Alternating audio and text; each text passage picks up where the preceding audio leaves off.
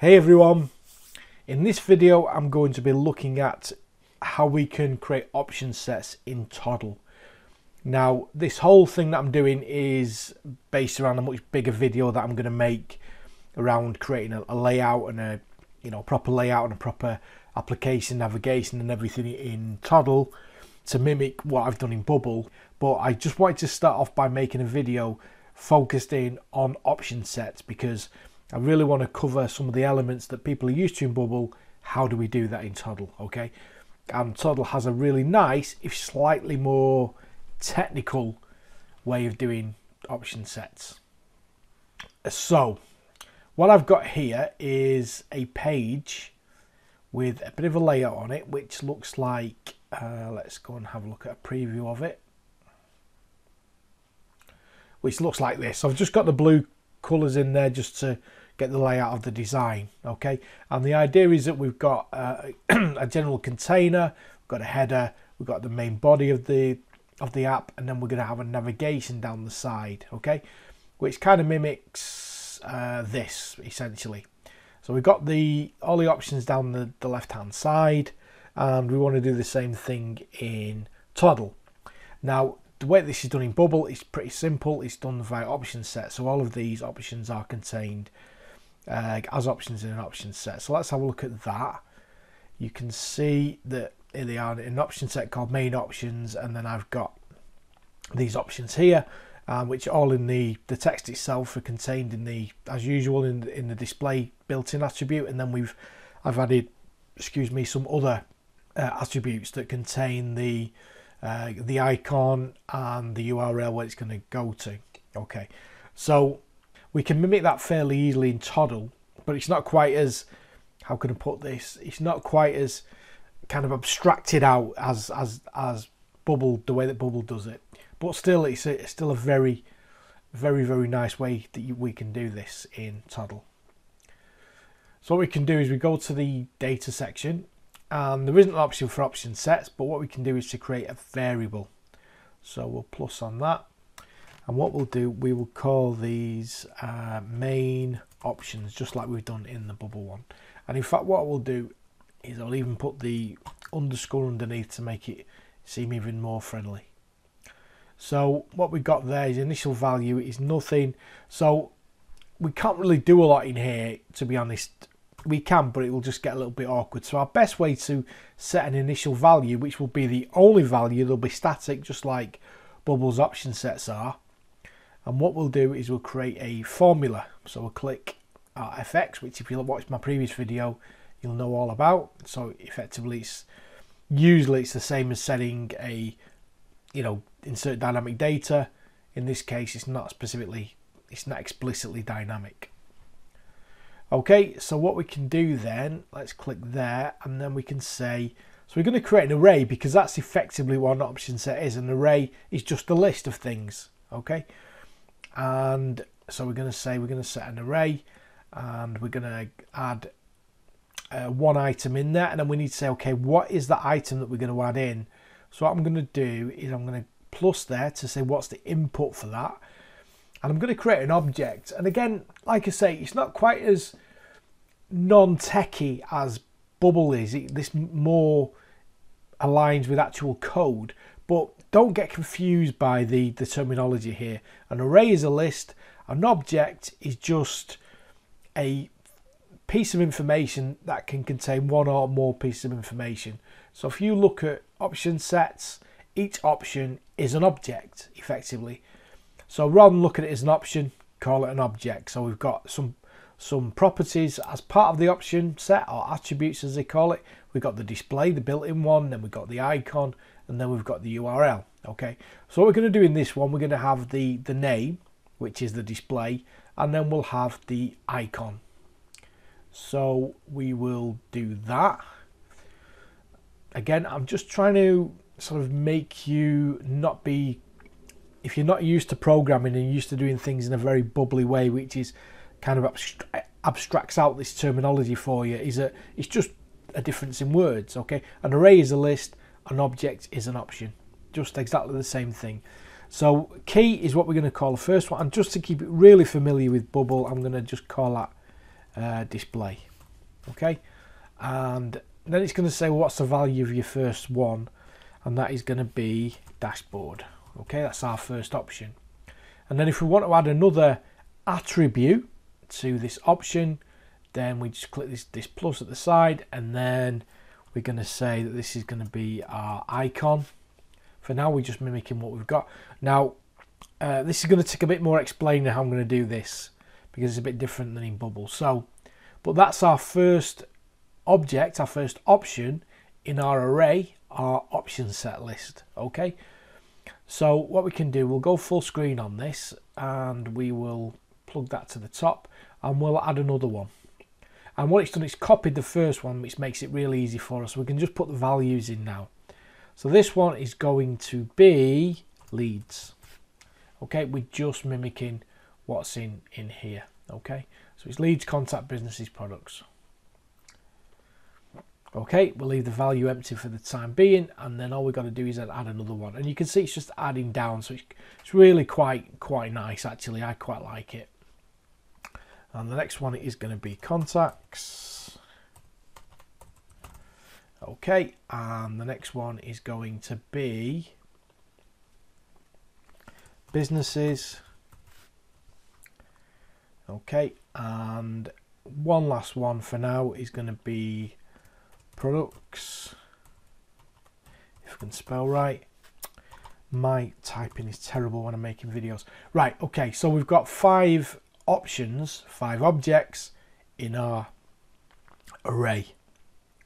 Okay, and then the output is simply these one, two, three, and we can see what we've got there. Okay, so that is our variable, which is our option set. Effectively, we've just mimicked our option sets in Toddle. Okay, so right, let's take this to the next step and let's put these options on our navbar here. Okay, so our navbar is this one, which is this div. I've got an image hidden, which I can uh, maybe show. Let's have a look. Mm, yeah, I've got this. So at the minute I've got it switched off. So uh, what I will do is I'll just set it to true so that it looks like our other one. Why not show the logo, eh? Why not do a little bit of promo while I'm at it? Right, so we're going to need to display these things. So if you watch the last video, the way that we do this, the way that we mimic a repeating group by having a list of options that we can use our option set. If you remember in Bubble, the way that we do it is we use our, where are we here? Yeah, we use our option set as the data source. So in here I've got a repeating group and the the data source is all main options, all options in our option set and then each one is just displayed down. So we can do effectively the same thing in here as well. So the way that we can do that then is to add a repeater, a list repeat effectively. So what we're going to do then is we're going to add an element and we're going to say it's a list.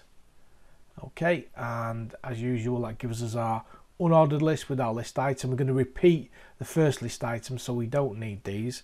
So we can just sort of get rid of these. Okay, and what we can do then on this unordered list is simply uh, right click and select repeat and then we give it the formula that we're going to use. What are we going to list effectively? And obviously it's going to be the the option set, the array that we just created, which is main options. And then we've got our five options that we created on there okay? So that's very very similar to what we would do in bubble. There's really not a great deal of difference at all when you think about it. So in here let's say for example that we certainly don't want like a black background so let's change that. Uh, where are we? At this grey background. So uh, we will just we will actually just bin that off. We don't need it. And there we've got our list item which is our text. So what we could do we do in there really is to put that in a paragraph rather than have it under there. So we will click on our li and add a paragraph. Okay just drag that up there. And we can actually delete this one and just use the one that it's given us. Uh, we're probably going to need just need to style this a little bit. Let's say the colour is going to be, let's say that one. That's nice enough. The size it's given us. Now then, since my last video, the guys at Toddle, uh, I, don't, I don't claim that they watched me and just had an epiphany. I'm sure they were working on it anyway. Uh, so, but they've enabled you to basically size your text as you like. You don't necessarily have to have their predefined options. So I'm just going to set that to 13 uh, px on there as the size of our, our uh, text. I'm just going to put some gap spacing of 20 px between our options. That didn't work. Why is that? Okay. All right. We're not. Okay. Yeah. Okay. We've got a height of 32. That's what's killing it. So let's get rid of that. Uh, there we go. That's better. Let's put some gap spacing of 20 px in there as well. So what we need to do then in here is we need to give it the formula, the insert dynamic data, to be able to grab the, the display attribute from the list that we're looking at. So we're going to click this and remember item is in terms of the context of a repeating group or or a repeated item is the equivalent is item is equivalent of uh, current cell in bubbles repeating group. So we're going to point that, we're going to say display, okay? And we can straight away see that we've we've got our items there. And obviously that's too big for that, so we probably need to look at changing the uh, I mean, all the sizes I've already set up, so I don't really want it. This isn't about uh, designing sizes and stuff, but let's just change that to say 12 pixels. Okay, it's big enough to actually display it. Uh, Right, okay, let's have a look. What, what font have we got? What we're using? Okay, let's have a look. So, if I... Okay, by the way, uh, when I was making the previous video, I was sort of struggling to make things scroll. Just using the the the cursor keys, what the best way to scroll in Toddle is something just to get used to is use your mouse wheel. Okay, and that's the the best way to to scroll. If something's a list that's going off the page, just use the mouse wheel. Okay, no need so. Okay, and then yeah, that okay, that's better. Gonna get that to well. I'll tell you what I wanted to do was wait. Uh, I wanted to get where's the wait? Okay, again, I mean these things are sort of uh, static options. I'm sure that in time to come they will change those to where you can more specifically define the settings okay so those those are our options let's take a look at it in here okay and there are our options using option sets. So that's basically a quick tutorial on the equivalent of option sets in Toddle. I think it's great. I think it's just as, as simple and straightforward just a slight different way of getting at it. Uh, if you need to edit them you, you, you have to go back into click on the, the variable and then to edit it. Rather than go into all this click the formula key and then we're into it all and then we can specify it. Now in terms of the icon that I've got there in the, the main video that I'm making I'm going to go into detail about that. I don't really think I should go into it here because it's a bit too involved. My, my purpose of this is just to show you the equivalent of option sets in Toddle. So just before we finish off, one thing that I did notice that I've done, uh, which we should have a look at, is I put the repeater on the unordered list. So what's happening is that's causing the whole list to repeat, which was a one item. What we really want to do is just to have this one item repeat. So what I should actually do, let's put the here. Okay, and let's bin that, which is going to destroy it temporarily. Okay, and then let's put it on here instead, which is the rightful place where it should have been. And that is going to be main options. And yeah, okay. So it doesn't appear to be too much of a difference. It's just that with this one, we're repeating the one item within the list. Whereas the way that I was doing it before, we are repeating the, the whole list uh, element every everything for every single item. So yeah, just a bit of a mistake that I noticed. Okay, so thanks again for watching. See you in the next one and take it easy.